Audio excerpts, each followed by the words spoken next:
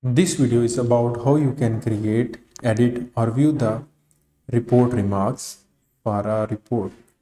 Click on test setup and then click on report remarks link.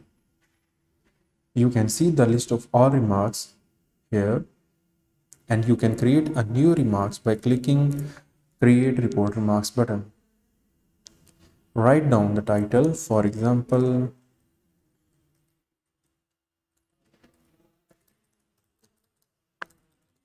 you can write the any information the notes to be printed on the report.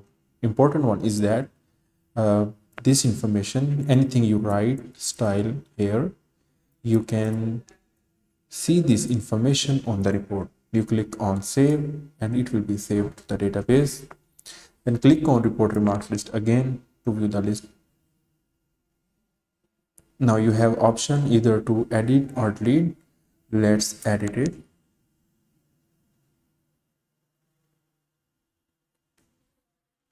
And uh, you want to change the title or the description for the report. These are the re remarks for the report. And you click on save. It will be updated. And uh, now you can delete these remarks whenever it is not required.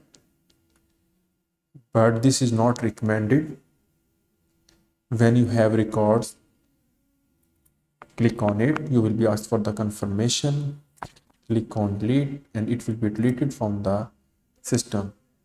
Important thing is that if you have assigned any remarks to any patient report it is strongly recommended that you do not delete any report remarks. That's all. Thank you very much.